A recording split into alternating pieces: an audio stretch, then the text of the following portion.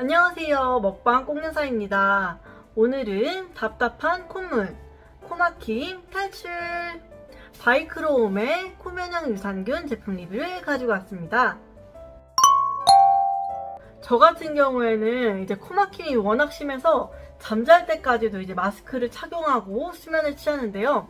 아마 코막힘 때문에 고생해 보신 분들이라면 아실 거예요. 이제 잠을 잘때 코로 숨을 쉬어야 되는데 코가 막힌 상태라서 입으로 이제 숨을 쉬다 보니까 아침에 일어나면은 이제 목이 따갑고 붓고 이런 증상들이 있어가지고 이제 항상 마스크를 착용하고 이제 잠을 자고 있는데요. 이렇게 코 면역 유산균 제품이 있다고 하니까 가만히 있을 수가 없죠. 짠! 그러면 코 면역 유산균 제품 자세히 소개해 드릴게요.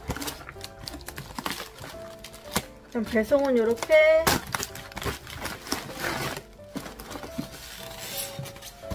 아이스박스에 배송이 옵니다. 물론 보관도 냉장 보관을 해주셔야 해요.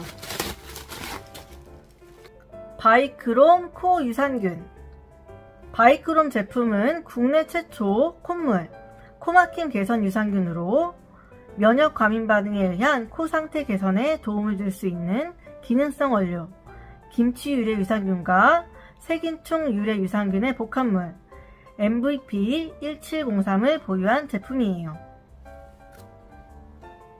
안에 한번 보여드릴게요.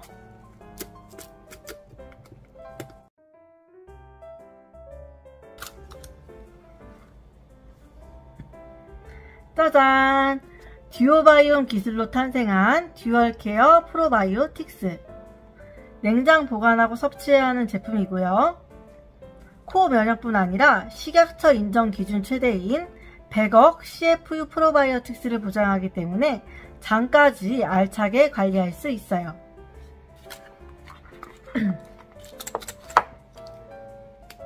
안에는 이렇게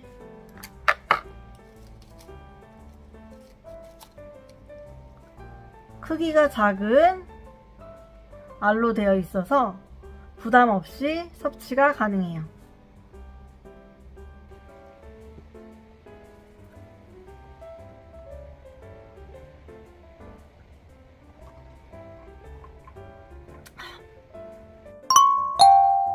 우리 몸 중에서 면역에서 가장 중요한 부분은 바로 요 코 아니겠어요?